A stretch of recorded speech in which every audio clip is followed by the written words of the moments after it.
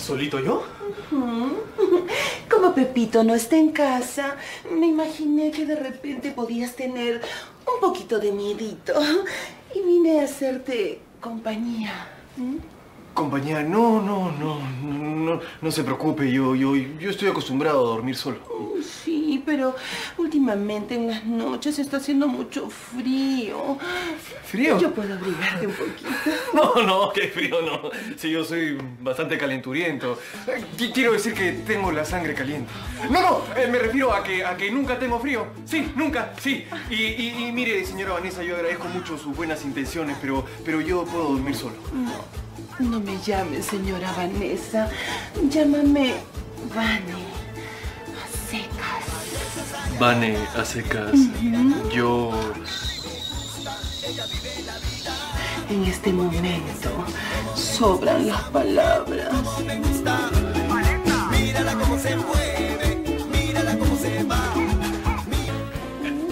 Señora Vanessa. Ya te dije que no me digas, señora Vanessa. Ven acá. Ven. Ay. Ay, pero. ¿Pero qué pasó? Era puro relleno de la casaca. Estás muy flaquito. Tú necesitas a una mujer como yo para que te proteja del frío. Ya le dije que yo soy bien calenturiento. ¡Qué caluroso, caluroso! Eh, mire cómo estoy sudando. Ah, además, eh, me acabo de acordar que yo siempre hago mis ejercicios de noche, así que si me perdona...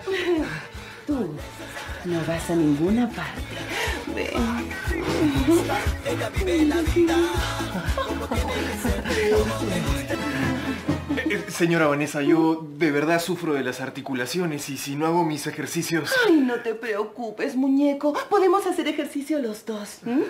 Porque aunque no lo creas, cuando yo tenía 25 añitos, o sea, hace un par de añitos nada más, yo era profesora de aeróbicos. Sí, mira. ¡Oh!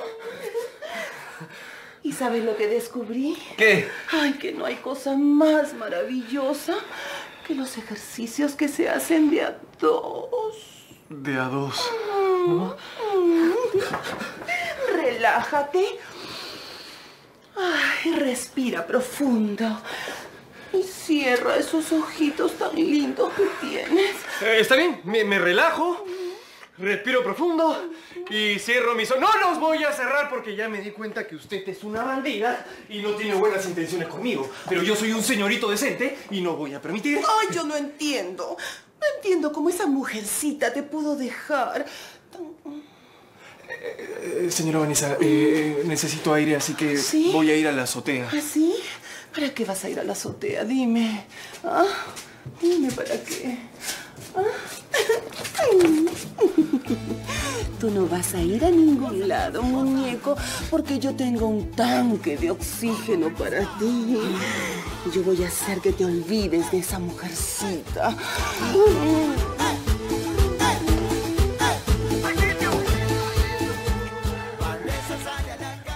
Seguro, seguro que doña Nelly ha ido a pedirle ayuda a doña Francesca. Claro, pobre Pepe. Ay, ese Raúl del Prado nunca me cayó bien. Bien hecho que le metieron un zuquiña y le voltearon la cara por nariz parada. Por eso quería quedarme para abogar por Pepe. Además, yo tengo la virtud de ablandar el corazón de Madame. Pero, ¿cómo podría ayudar doña Francesca a doña Nelly? ¿Cómo? No.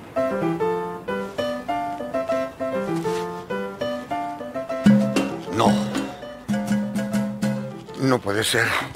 Estoy viendo visiones. Eh, ¿Teresita está chapando a Tito? ¿O Tito a, a- Teresita? No. No.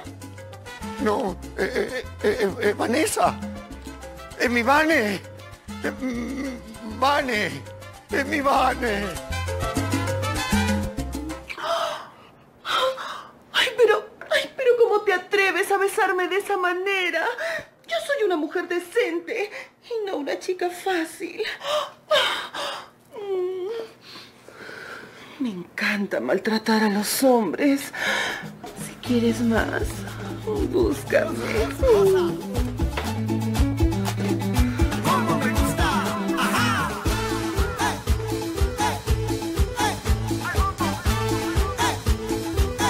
Me trata como si fuera un objeto sexual.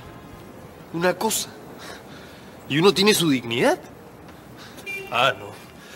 Pero si esa señora cree que va a venir todas las noches a violar la intimidad y la privacidad de mi habitación, está muy equivocada, porque yo no soy ningún objeto sexual de nadie. ¿ah? Toqueteando, chapando. Contigo quería hablar. Atrasador.